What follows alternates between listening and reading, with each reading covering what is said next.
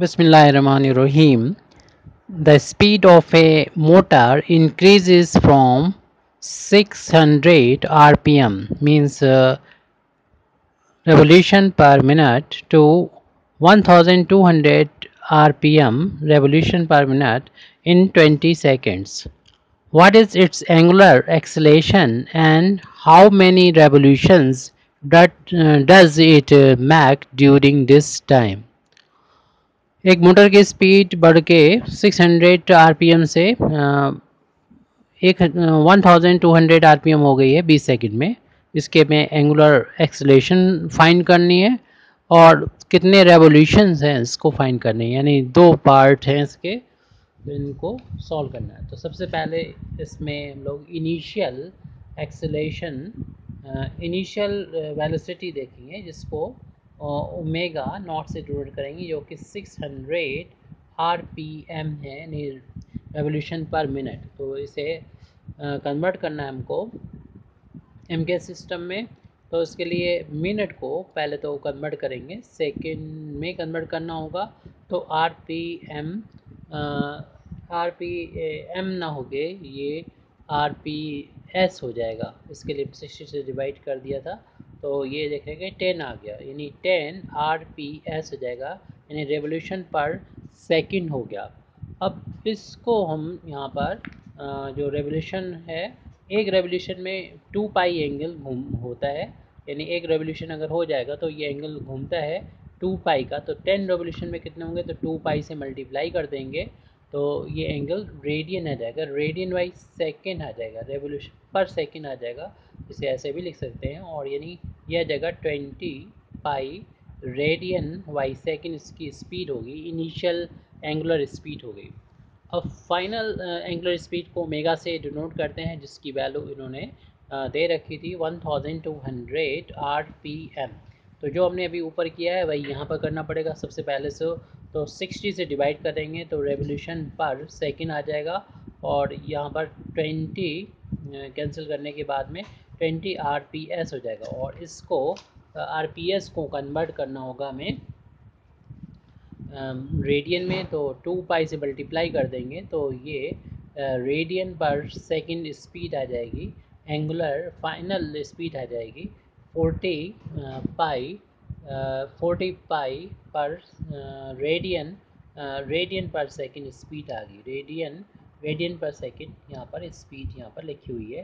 Radian R A D तो अब time जो दे रखा था, वो लिख लें। टी इजिकल टू इस multi is equal to twenty second लगते हैं इतना होने में। तो यहाँ पर टी बराबर ट्वेंटी हो गया। अब हम यहाँ पर पहला जो पार्ट है, उसको फाइंड कर सकते हैं, जिसमें हमसे पूछा गया था।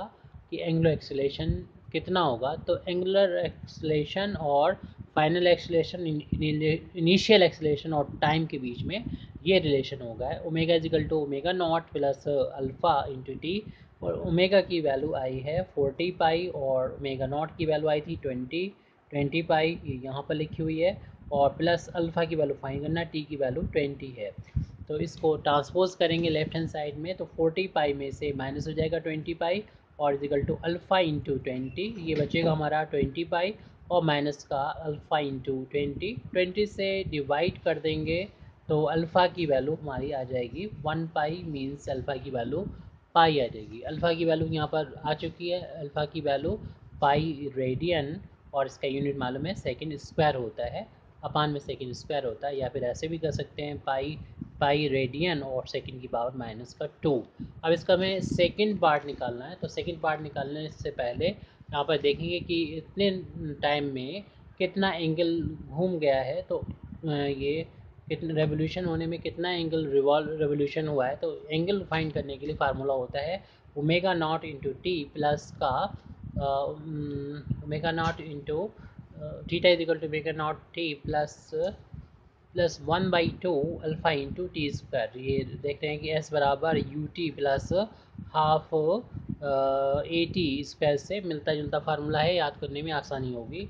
इसे मिला के याद करें। और ओमेगा नॉट की वैल्यू जो है वो ट्वेंटी ट्वेंटी ट्वेंटी पाई थी। जैसे कि ऊपर हम लोगों ने नोट किया था, अभी यूज़ किया था। और टी की वैल्यू ट्वेंटी के इक्वल है plus one by two alpha की वैल्यू पाई के इक्वल आई है, और टी की वैल्यू ट्वेंटी है ट्वेंटी का होल अब स्क्वायर और यहाँ से हम अल्फ़ा की वैल्यू को फाइंड कर लेंगे। अल्फ़ा की वैल्यू कितनी आती है? सॉल्व करेंगे। फोर हंड्रेड हो जाएगा पाई प्लस का one by two pi into इसका क्या? होल अब स्क्वायर किया तो फोर हंड्रेड हो जाएगा, और टू से कैंसिल होके टू हंड्रेड आ जाएगा। तो फोर हंड्रेड पाई प्लस का टू हंड्रेड पाई तो इस तरीके से ये सिक्स हंड्रेड पाई हो गया थीटा की वैल्यू सिक्स हंड्रेड पाई होगी।